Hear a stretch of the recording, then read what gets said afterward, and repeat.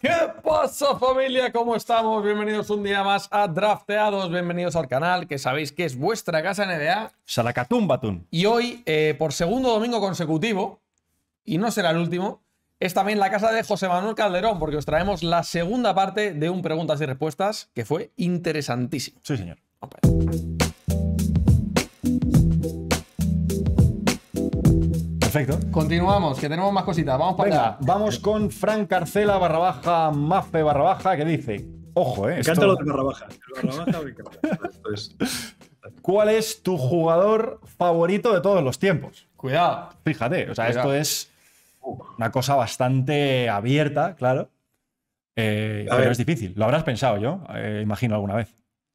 Sí, pero, pero mira, os digo, y lo he tenido muy cerca, porque mi, ju- mi jugador favorito yo podría decir que, que ha sido Steve Nash. ¡Oh! ¿vale? O sea, Muy bien. que, que luego tiene la suerte de jugar muchas veces en contra, pero era un poco el estilo de juego que a mí me gustaba, ¿no? Él era capaz de anotar, pero era capaz de pasar, de se- era intentaba pasar primero, ¿no? Era como jugar en equipo, eh, y yo creo que, que, bueno, que ese base era el que a mí me gustaba, ¿no? Eh, y a mí Steve Nash siempre me pareció un, un super jugador. ¡Qué guapo! El otro día, cuando hicimos la entrevista esta con Jason Williams, mencionó a Steve Nash. Kid, ¿no? Mencionó a Kid, pero, me so- pero no mencionó a Nash, ¿verdad? Me parece que no menciona a Nash. Curioso, ¿no? Bastante curioso. Porque sí que era, o sea, justo lo que decía Jason, lo que nos decía Jason Williams el otro día era justo eso, José, que, que, que eran bases, lo que a él le había gustado siempre y lo que, por lo que él creía que había podido tener la carrera que había tenido en NBA y tal, era porque era un base eh, de los que estaban ahí fuera para pasar el balón. Sí, como pass first, ¿no? Decía. Sí, sí. Por, por encima de otras cosas. Y mencionaba a Jason Kidd como, eh, pues como ídolo, ¿no? Como jugador en el que él se había fijado mucho a la hora de, de elaborar después su juego y tal. Pero es verdad que no mencionaba a Nash. Curioso, ¿no? Sí, sí. Y Jason Kidd ahí, ahí Jason Kidd es verdad que para mí también es un jugadorazo, pero es verdad que era más difícil para mí fijarme en Jason Kidd porque era físicamente era diferente, era mucho más grande, jugaba Ya. al poste bajo. Ya, es otra eh, cosa. Pero eh, eh, era, hacía muchas más cosas eh, en, ese, en ese sentido que yo igual no podía hacer, ¿no? Entonces era como, Steve era un poco más, eh, digo Steve como si fuera, Como si Steve fuera- Nash era, era un poco más, eh, más, bueno, que era, era más cercano, ¿no? Era más, eh, me, me- me podía comparar más a él, ¿no? Te fuiste a jugar al pádel ayer con, con Steve, ¿no? Pues- Con Steve, ¿no? Ya en Brooklyn. Claro, claro. Vale. Eh, bueno, pues esto interesante también. Y algún. No, es, es que Steve Nash es, claro, tú luego jugaste contra, contra él bastantes años. ¿Alguno previo, tío, a, de, a que tú fueras a la NBA tienes o no? Siempre digo que me fijé mucho en Elmer Bennett, ¡Ostras! ¿por qué? pero más, que- pero más por el hecho, eh, imaginaos que al final para mí no era por, por toda la CB que veía o, o quién podía ser, era porque al final cuando yo llego a Vitoria tengo 13 años Y, en el primer equipo están Pablo Lasso, que luego acaba yendo- se va al Madrid, y, y viene Elmer Bennett, ¿no? Entonces, es como, me tenía que fijar, era un poco casi como obligatorio, porque yo quería llegar a donde Elmer Bennett estaba. Entonces Claro, tenía claro. que decir, bueno, ¿qué hace Elmer Bennett? ¿Cómo? Entonces, aparte que luego Elmer, pues, cómo jugaba, ¿no? Que un tío Sí, sí. también, pues que pasaba el balón, que tiraba, que hacía un poco de todo. Sí, sí, y, sí. y realmente, pues este era el base que a mí me gustaba, ¿no? Y, y- y bueno, entonces siempre decía que mi primera referencia fue Elmer, pero, pero era por eso, por, aparte que era un jugadorazo, era porque que él estaba en el puesto donde si todo iba bien, yo en Claro, tú 6, en querías 7, en los años que fuese, yo quería llegar a ese ser el primer base del Tau, ¿no? Claro. Que luego, lo mismo, tengo la suerte de coincidir un año con él y es mi compañero de equipo.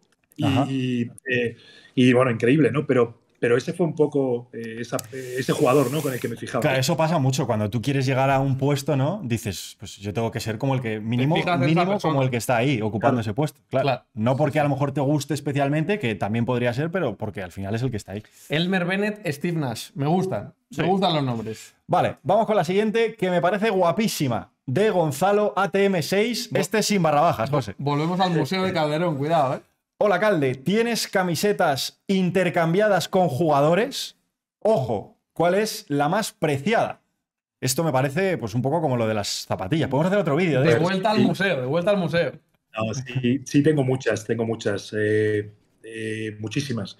Eh, empecé con, sobre todo al principio, con mucha gente que, que había venido el mismo año que yo a la liga, eh, jugadores que había jugado con ellos y que ahora jugaban en otros equipos, pero tengo muchas. eh, tengo, por supuesto, tengo de Steve, tengo de Steve firmada, eh, De tu colega. pero de muchos de los que hemos ido nombrando tengo. O sea, eh, tengo de Chris Voss, tengo de Novitsky o de Vince Carter, Ujú. eh, tengo LeBron James, por supuesto.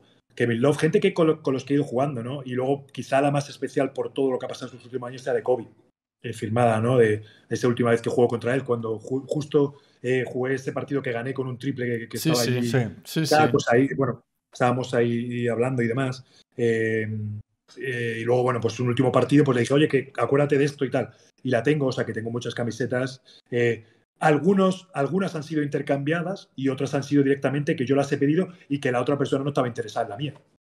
Claro. Es que, no, es que escucha. Te iba a preguntar cómo es el proceso. Claro, claro. yo también, porque no me. O sea, me imagino, eh, no sé, el proceso este de, de- Claro, hay veces que hay intercambios, ¿no? Que ves ahí, yo qué sé, el otro, me, me acuerdo hace poco de ver en un partido el intercambio, por ejemplo, eh, Giannis Antetokounmpo la Melo Ball, ¿vale?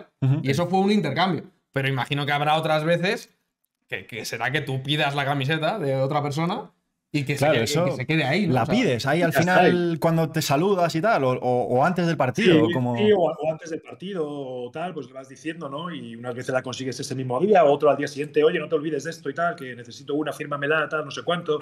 Y luego, pues ya, sí, no te preocupes, se la mando con el, el utillero, te la lleva a tu vestuario, no te preocupes, tal. Y entonces así es un poco como, como funciona, ¿no? Al final es un poco, bueno, eh, un poco de respeto también al, al compañero. Y lo que digo, tengo jugadores eh, más conocidos, otros no tan conocidos, pero, pero la verdad que, que, bueno, eh, eh, interesante pediste- la, la colección. Le pediste, José, perdón. Dile, dile, dale tú, dale tú. ¿Hay algún jugador, José, que te dijo que no cuando le pediste tú su camiseta? No, no he tenido nunca ese Vale. problema. Vale, vale. Eh, otra cosa que te iba a preguntar es si tienes. claro, me acuerdo de, de cuando hicimos el tema de los jugadores más difíciles de defender. Eh, si después del partido, o sea, después de que Andre Miller te hiciera la noche imposible, no No sé si ibas a No la pedírsela. tengo. No la tengo la de Andre Miller. Me hubiera encantado tener una de Andre Miller. Me, me hubiera encantado. Pero no la tengo. Y otra, otra pregunta de esto, la Javier, antes de que pasemos. ¿La de Lebron que tienes es de cuando fue compañero o de cuando era rival? Cuando de los Lakers. De los Lakers. Ostras. Vale, vale. Hostia, vale. porque justo nosotros jugamos eh, juntos, digamos. Y yo acabo, me voy de Cleveland, me voy a Detroit, él se va a Lakers y cuando nos volvemos a ver, pues ahí le digo, oye, eh, pásame Ya, ya. una. O sea, después de haber sido compañeros, pero cuando ya no lo erais, ¿no? Exactamente. Eso es, eso es. Ya, ya, ya. Hombre, de los Lakers, bien. Buena camiseta esa, ¿eh? Buena Tienes una colección, José Va- Macho. Vamos a tener que ir al museo, José. Vamos a tener que ir al museo. Va a estar bonito. Venga, la siguiente, de Juan Carr Jr., que dice: Sin contar a los jugadores de la familia, top 3 amistad con jugadores de la NBA. Uf. ¿Cuáles son los jugadores con los que. Bueno, o sea, no hace falta que sea top si quieres o sea, de ordenarlos. Él, él dice top 3. Tú puedes decir top 5, puedes decir los dos con los que mejor te llevas, puedes decir lo que quieras. Claro, o sea, los, lo- con los que más relación tengas y hables a menudo y tal. A ver, eh, tengo que reconocer que con el puesto que he tenido los dos últimos años, he tenido relación con muchos jugadores, ¿no? Y, Claro. y muchas veces con otros que has estado más desconectados, has vuelto a conectar, ¿no? Tengo mucha relación con, con jugadores eso, que, que- que he tenido, tipo, yo qué sé, Jeff Green, por ejemplo, que, que estuvo con nosotros en Cleveland y tengo una muy buena relación con él, ¿no? Eh, que está ahora en Denver. Eh, pero Steve, bueno, ¿no? así, Y- eh, historión, por cierto, el que tiene, el que tiene Jeff Green, ¿eh? con todo el tema de la, de la operación, lo que le pasó hace, creo que hace 10 años, creo que hace, creo que el otro día hizo justo 10 años Sí, algo vi yo. de Sí, toda sí. la historia de, de Jeff Green y fíjate cómo está ahora jugando el tío.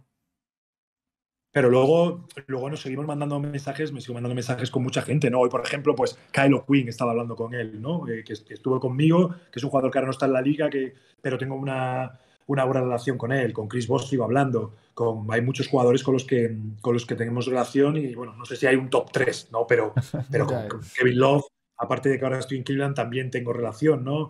Eh, por ejemplo, de, de esos años y luego de Mar de Rosen o Kyle Lowry, tenemos muy buena relación y, Claro. y estamos eh, en contacto, ¿no? O sea, que realmente son muchos, son amigos, o sea, he pasado mucho tiempo con ellos Claro. y, y bueno, y con- con- hay bastantes que podría poner en esa lista. Todo esto sin contar a, a Steve, claro. Claro, Steve, que es, es colega toda la vida. Y... Con Steve también me mandó algún mensaje, pero, que esa es la parte. No. Esa es la parte. pero bueno. Vale. Eh, el siguiente tema, José, tiene que ver con la economía. Cuidado, ¿eh? ¿Vale? Es una curiosidad que nos parece bastante interesante. Lo dice Aranda 12421. Toma ya. Fíjate. ¿Cuál fue el capricho que te diste con tu primer contrato gordo de baloncesto? Atención con esto. Pues si te digo, si Si te es digo que la hay. verdad, es que no, es mi forma de ser. Ya. Entonces, eh, no ha sido nada, no voy a decir lo típico de un Rolls Royce, no, ni nada de eso, para nada, para nada, o sea, no sé, no tengo nada especial, no soy un tío que, eh, somos una familia muy normal, eh, nunca he tenido nada por encima de, de las cosas lógicas y realmente te puedo decir que lo único que podíamos, te, te voy a decir, eh, me fui de viaje con mi familia a algún sitio así más exótico de lo normal, pero poco más, o sea, que no, todas, yo he sido siempre muy igual, la gente que me conoce sabe que soy así. Y ya te digo, si yo estaba en Toronto los, mis primeros ocho años y no tenía ni coche propio. O sea, Ya. que imagínate. Es que Sí, sí. esto lo hemos, lo hemos puesto porque hay una. No sé si lo habrás visto. Seguro hay sí, una sección en, en YouTube. No sé si es de GQ o De algo GQ así. es, es de que es GQ. como cómo se gastó su primer millón eh, jugadores de la NBA. Y claro, te ponen ahí a Tyler Hero y dice: Pues me pillé un Ferrari, un Claro, no sé pero qué. es que es una pregunta muy para Tyler Hill. Claro, nosotros ya pensábamos que en tu caso iba a ser diferente, sí. Claro. Sí, a ver, es lo que digo. eh, eh, al principio para mí no era importante. Yo siempre pensaba de otra forma, ¿no? Creo que podía invertir el dinero en otras cosas o, o hacer otro tipo de cosas que gastármelo en un coche que en Toronto hay una nieve que, te- que increíble. ¿Qué hago allí con un Ferrari? Pues nada, pues no puedes andar por la calle. Claro. Entonces, Sí, sí. pues dije, no, pero más que nada era pensando en que, a ver, pues tenía otras relaciones eh, con, con marcas, ¿no? Entonces me dejaban el coche. eh, yo solo necesitaba para ir a entrenar, no necesitaba mucho más. Luego había tres meses del año o cuatro que me venía a España. Tener un coche aparcado porque sí, allí sin moverlo tampoco tenía mucho sentido. Lo que te digo, yo siempre he sido muy lógico y tomando las decisiones lo más eh, eh, tranquilamente posible. Bien. Y muchas veces pues, no es el hecho de porque tengas eh, o llegue un contrato grande me tengo que comprar un coche. Si no lo necesito, no. Pues entonces, bueno, pues hacía otro tipo de cosas. Entonces, en ese sentido, ya te digo, Como filosofía de vida interesante. Bueno, Para todo fantástica. el mundo. Pero quiero decir, esto de, es que muchas veces pensamos que necesitamos cosas que no necesitamos. Sí, sí, O sea, esto es una cosa habitual que le pasa a todo el mundo y es interesante, sobre todo, pues eso, eh, tomárselo de esa manera, ¿no? Intentar ver qué de verdad necesitas y qué de verdad no necesitas. Eh, ¿Nos queda alguna pregunta más de estas o vamos con las, de, con las del chat? Eh, nos queda, nos queda alguna más. ¿Nos todavía. queda? Pues vamos, si quieres, venga. Sí, vamos para allá. Lucas Molero, la manía más rara de algún compañero antes de los partidos.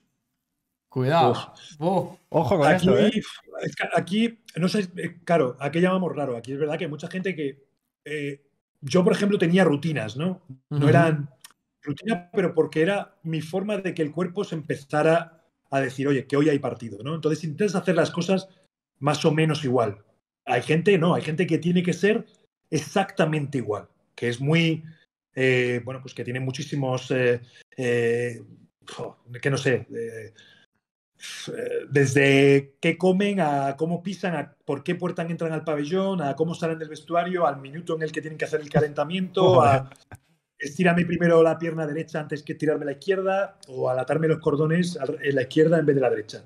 O sea, yo creo que hay un poco de todo, ¿no? Cada uno tiene muchas supersticiones y que si se salen de ahí parece que, uf, ya van como en esa ansiedad de, uf, ya verás cómo sale hoy la cosa, ¿no? Fíjate, tío. Eh, yo para mí, ya te digo, yo siempre intentaba hacer lo mismo, pero porque me relajaba, en el sentido de, bueno, era como decirle al cuerpo eso, que ese día había partido. Pues me levantaba, sabía que me tomaba un café o, venga, pues hoy me voy a entrenar, intentaba dormir una siesta o lo que sea, pero que si por lo que sea el horario del partido era diferente o cambiaba, bueno, pues me iba adaptando a lo más cercano posible a esas cosas que hacían que mi cuerpo se adaptara a esta noche de partido. Pero poco más, eh, no, me, no me pasaba nada si me saltaba algo, ¿no? Claro. claro. Sí, sí, es que eso es cada uno. Pero habrá mucha gente que tenga muchas cosas muy raras. Había gente aquí en el chat poniendo, por ejemplo, claro, el tema de los, de los polvos, por ejemplo, de LeBron. Eso Sí, es sí. una, una cosa prepartido. Wade no, no hacía también de coger el aro y subía la cabeza, ¿no? subía la, Hacía- la cabeza por encima del aro, o sea, la metía por, por dentro del aro. Sí. Hay va- varios jugadores ahora, por ejemplo, que se tiran contra los postes de los, de los, eh, los que están detrás de las canastas, los que sujetan las canastas. Eh, no sé, hay mucha gente que tiene manías de muchos tipos. Imagino que es lo que dice José, porque habrá gente que esté desde que entra al pabellón en plan, no, en este minuto eh, me tienen que dar aquí el, el café, luego tengo que entrar por esta puerta, salir por esta. O sea, Qué movida. Exactamente como lo has dicho, en plan de tienen a la gente que, que- que trabaja con nosotros de, oye, a- en el 40 y tienen el café puesto allí en el 40 Claro. y en el 35 salen a hacer el tiro y en el no sé cuánto entran y, y- y es muy la misma rutina siempre y hay gente que, que es, mm, bueno, pues más que les obsesiona o les importa más eso que a otros, ¿no? Hay otros que cada día, que tampoco creo que, yo creo que cada uno es muy puede hacer lo que le dé la gana, ¿no? Pero tampoco hay otros que, les da igual todo, que no hay rutina para nada y que también eso te vuelve un poco loco en el sentido de va descolocado y muchas veces pues vas descolocado luego también en la pista, ¿no? O sea, ni una cosa ni la otra. Creo que hay que encontrar siempre un término. Y en la vida incluso vas descolocado si no tienes organización. Siempre he pensado, tío, que la gente que hace tan, eh, tan exageradas este tipo de rutinas, cuando falla algo en esa rutina, o sea, ya, no, ya se condiciona para mal para el partido. Ya no es que vayas a jugar mal el partido porque lo estés jugando mal, es que vas tan condicionado de que te has saltado algún paso que igual ya juegas mal, seguro. Por eso, solo por eso, ¿no? Claro. Pues puede ser. Y que al final es todo mental, es lo que hablábamos el otro día. O sea, al final, si yo lo que habíais hablado antes del cambio de zapatillas porque estoy jugando mal, si eso me hace que mi mentalidad cambie, eh, pues perfecto. O sea, pero, o sea, que tú sabes que no son las zapatillas las que te hacen jugar mal. Ya, muchas veces pues ¿sabes? Pero, y en todo esto es lo mismo. O sea, no es la rutina lo que te hace jugar bien, no es esa superstición lo que te hace jugar bien o mal. Eh, lo que no puede ser es que el que falle algo un día te haga al revés, estresarte mal y hacerte jugar mal porque ya vas con una ansiedad de no he hecho algo, ¿no? Entonces eso es lo que hay que saber controlar. Sí, sí. Sí, señor, la cabeza, la cabeza en el deporte. Bueno, la cabeza en general en el deporte y en la vida. En la vida. en todo.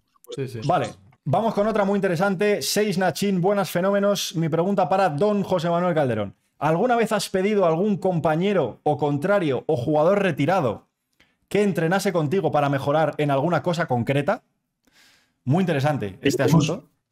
Sí, se hace, yo lo he hecho mucho además. Estoy un, un tío bastante eh, abierto en ese sentido, en el sentido de, eh, no sé, recuerdo, y lo hablamos el otro día por sacar nombres que hemos sacado. Eh, oye, Kyle, Kyle Corber. Oye, Kyle Corber, cuando sales del bloqueo y coges el balón así tan rápido y tal, ¿qué, piensas? ¿Cuál es la mecánica? ¿Cómo haces el uno? No sé. yo creo que con todo el mundo se mejora, ¿no? Nosotros en la selección, eh, al final muchas veces esos unos contra unos después de los, de los entrenamientos, eh, eh, puedes aprender de Pau Gasol, puedes aprender de Navarro, puedes aprender de, de, Ricky, o sea, da igual. O sea, al final hay detalles, ¿no? O, o tú, o al mismo, y al mismo tiempo yo te pregunto, oye, cuando tú juegas el pick and roll, ¿por qué si sales solo siempre cuando, qué es lo que haces? Y a mí no me sale, ¿no? Entonces muchas veces es importante, ¿no? Y son, para mí yo he aprendido, siempre he dicho que en baloncesto creo que puedes aprender hasta el día que te retiras. Da igual, da igual el nivel que tengas. Puedes aprender de un rival, puedes aprender de un compañero, porque siempre hay algo que hay alguien que le ves que lo sale súper bien y tú dices, pero si yo lo intento y no me sale, ¿cuál es, cuál es la lectura que no estoy haciendo bien? ¿Por qué tú llegas ahí y yo no estoy llegando? ¿no? igual es una tontería, es, no, es que yo no me fijo en mi defensor, sino en el otro defensor. O es que yo me empujo con mi pie derecho en vez de con el izquierdo. No sé, estoy hablando por hablar, ¿no? Pero, sí, que he preguntado, sí que he preguntado mucho y, bueno, ha habido muchos jugadores que, que, les he dicho, oye, ¿por qué cuando vas para la parte izquierda haces esto? Y, igual, igual a mí, ¿eh? me, han, preguntado y yo sin problema.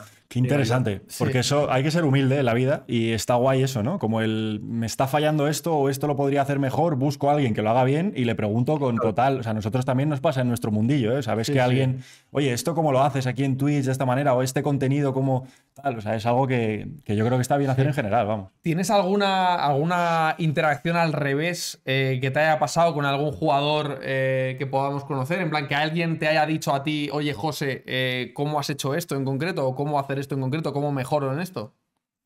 No, a ver, he tenido a muchos jugadores con el tema sobre todo de jugar los pick and rolls y así, en los que sí que me han preguntado y con muchos bases y, con gente en los equipos que he estado, con sobre todo toda la gente joven, pero luego incluso veteranas también, de decir, oye, cuando vas aquí, ¿cómo lo haces? Y darle algunos consejos, ¿no? Decir, mira, yo hacía esto, ¿no? O sea, me ponía de esta forma para que el defensor crea que hago esto y luego utilizo a mi propio jugador para bloquearme también y así hace como un doble bloqueo y va, va, va. Y bueno, contarles un poco, pero he tenido gente de, ese, de, eso en, muchas, casi en todos los equipos al final, ¿no? O sea, que, sí que es verdad que todo el mundo te, pregunta, ¿no? Muy interesante. Sí, sí, sí, muy Vale, esta es de José Ferrín Vélez. Muy buenas buques. Pregunta para el señor Calderón. ¿Cuál es la diferencia que se vive desde la perspectiva del jugador entre la regular season y los playoffs?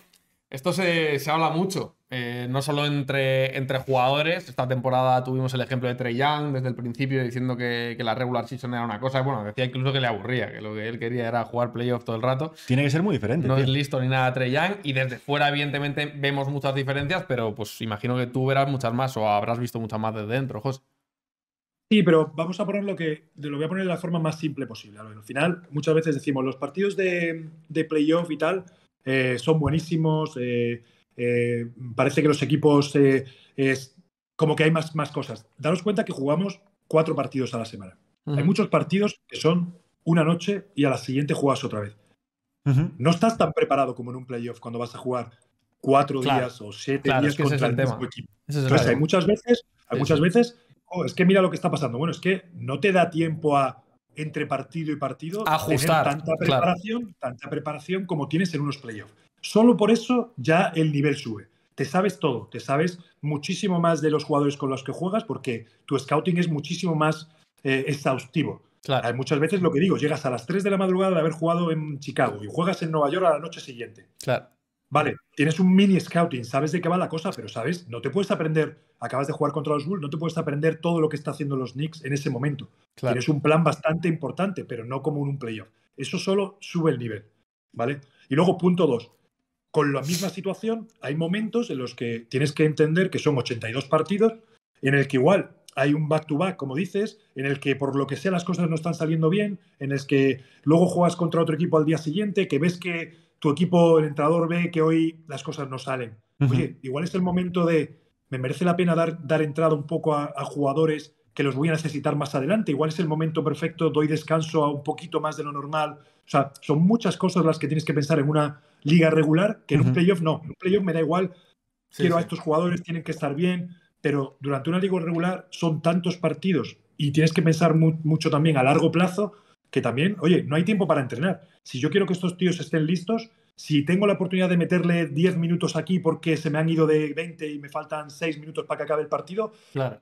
no te quiero decir que estoy tirando el partido, pero es que necesito a ese tío, porque si se me Claro. lesiona tiene que jugar, tiene que estar. Entonces, son pequeños detalles que hacen que el partido de la liga regular sean un poco diferentes a los playoffs. Pero pasa, pasan en todas las ligas, ¿no? Y Sí. muchas veces hablamos, quizá yo qué sé, si hablamos de fútbol, el tema de las rotaciones. Ah, es que hay gente que rota más, hay gente que rota menos. O sea, tienes que saber en qué partidos puedes rotar, en qué partidos no, eh, dónde estás, qué calendario te viene de, de los próximos días. Sí, Claro. Mm, hay que tener todo eso en cuenta y esa preparación yo creo que es clave. Joder, yo me acuerdo cuando, fíjate lo que te voy a decir, cuando yo jugaba en mi época, la diferencia de motivación en los playoffs, o sea, no me quiero imaginar cuando juegas en la NBA y sabes que tienes dos partidos en los próximos días a nivel ambiente de la ciudad, jugar en casa, que sabes que es una serie al mejor de siete. O sea, eso imagino, José, que tiene que ser una sensación, porque temporada regular también, o sea, partidos, tal, pero bueno, hay varios en la semana, es muy larga la temporada. Y además va todo tan rápido que igual es que se te pasa sin que pienses mucho. O sea, un partido ahí en enero, de repente, pues igual tal, pero en playoff, tío, que sabes que, que te lo Claro. juegas todo, ¿no? A nivel motivación. O sea, no ibas ahí tú con los cascos eh, flipadísimo.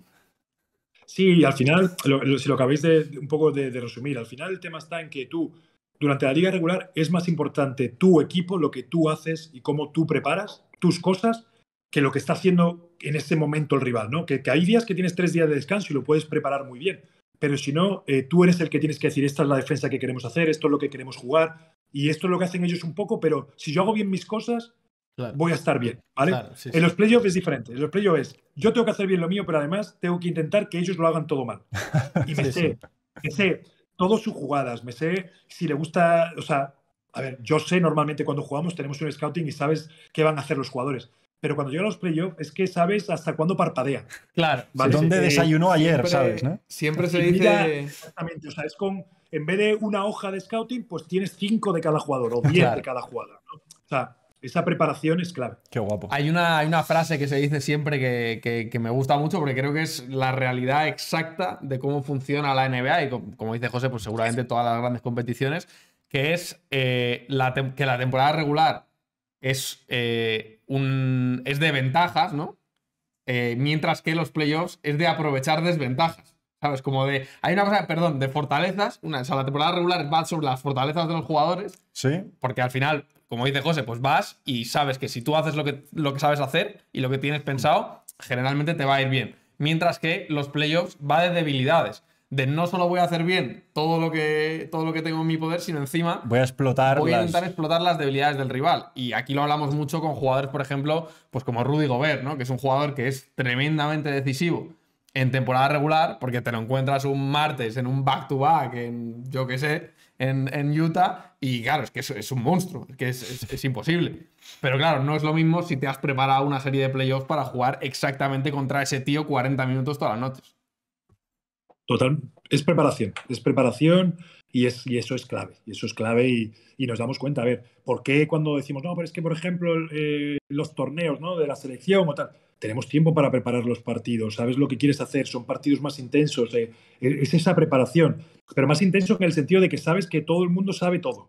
Claro, sí, sí. ¿Quién es el que está, quién llega mejor preparado, quién es capaz de ejecutar mejor la jugada? Porque al final las jugadas, es lo que yo digo, está todo inventado. Pero quién es el capaz de hacer el bloqueo perfecto, en el momento perfecto, para que tu compañero se quede libre, que el pase llegue en el momento justo, Claro. sabiendo que la defensa sabe que vas a dar ese pase y vas a hacer ese bloqueo. Entonces, Mm. todo eso hay que tenerlo en cuenta, ¿no? Que no es vamos a jugar y ya está, que hay mucho que tiene que ver, que está detrás, sí.